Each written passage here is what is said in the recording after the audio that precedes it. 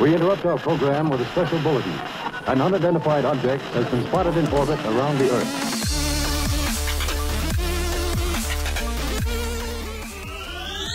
Greetings, invaders. My name is Scott. This is Book Invasion. Thank you for watching. Make sure you like and subscribe, all that good stuff. Today we're going to be talking about The Warehouse by Rob Hart. The Warehouse is a cautionary, futuristic tale about a super mega company that has essentially eliminated all need for other stores and it has capitalized on technology to accumulate all of the things you'll ever need into a giant warehouse. The employees stretch into, I think, the, the millions or so. They have on campus living for all of the employees.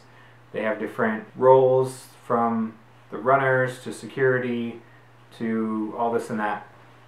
And it's I think it's a very compelling read because its ideas are not very far reaching into the future. They're things that could have could be happening in the next five years or so, uh, to to some extent.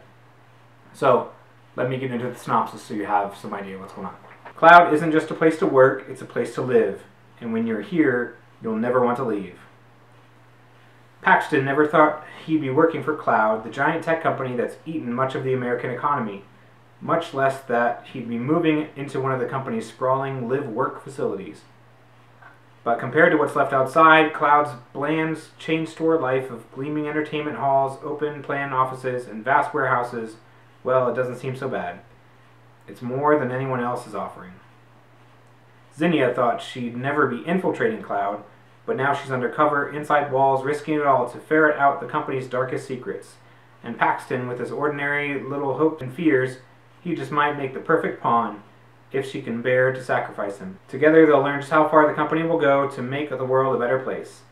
Set in the confines of a corporate panopticon that's at once brilliantly imagined and terrifyingly real, The Warehouse is a near future thriller about what happens when Big Brother meets Big Business and who will pay the ultimate price. Now, this book, upon its release, was optioned for films by Ron Howard, so we all know kind of what option means. It may come to fruition, it may not. But it seems like a good story. It seems like it's easily uh, adaptable to film. There's not very many crazy ideas.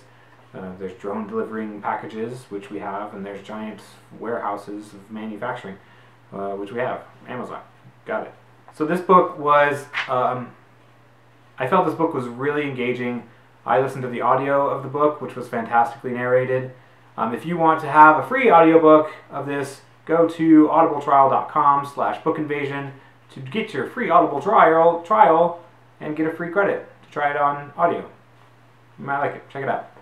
Anyway, uh, the audio of this was really well done. It starts off um, kind of, we learn Paxton's story. Uh, we also learn the story of the company. So in the beginning and throughout the, the book are interspersed chapters of the CEO, the owner, the creator of this company writing a blog because he's diagnosed with a, a fatal illness. So he's writing this kind of blog uh, out into the world, I assume on the company's page somewhere, about how the company came to be, what his thought process is, and why he's now traveling to these um, cloud facilities, the, the mother cloud facilities, I suppose, and touring them um, to wave his employees before he essentially leaves the company and leaves the planet. And, and the media is all a flurry on who the successor is, who's going to take over when he leaves. This giant mega corporation that's essentially crushed the American economy and now is the you know 90% of all the goods and services come from this company and everything else out there is just a wasteland of empty shopping malls and strip malls and whatever. Um, so that's kind of where we're at. So we're getting the understanding of, of the company and what its roles are how some of the processes and policies came to be throughout the company by this this old man's story um, from him delivering papers to then eventually delivering groceries to the elderly people and then starting a business out of out of something like that. And he has a good friend that that had started that with him um, like his sidekick and he, the all obviously the, the media is all a flurry on that he's going to be the successor things you know pan out and stuff happens obviously but we have Paxton in, in the mix here, and Paxton is trying to get a job at Cloud because his company went under due to Cloud manufacturing the same thing that his smaller company did, but but cheaper, and essentially shut him out of the picture. His business collapsed.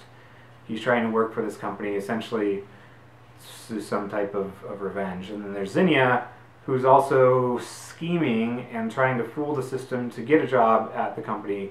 And when you're hired in the company based on your application responses and algorithms and facial expressions and so on and so forth while you're taking the application quiz, you're then assigned a role.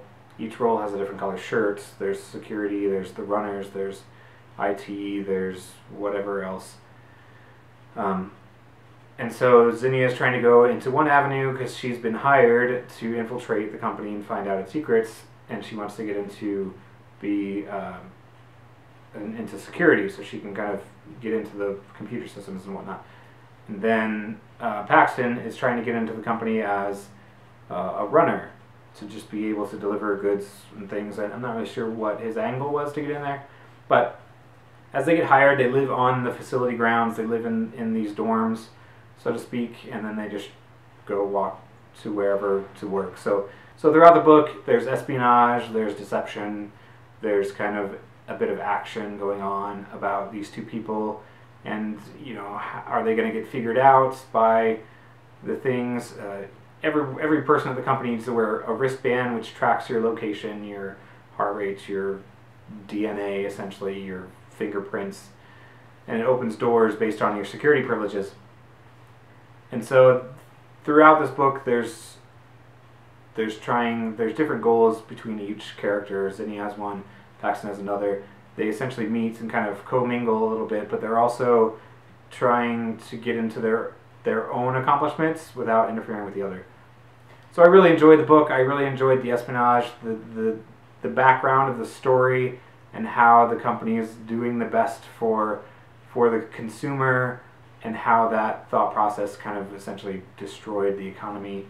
Um, when good intentions obviously go a little bit too far, and when technology goes a little bit too far, how does that play in a world where this giant company lives? So I thought this book was really good. It, it would pair really well with The Circle by Dave Eggers, if you've read the book or if you've seen the movie with uh, Emma Watson, and Tom Hanks.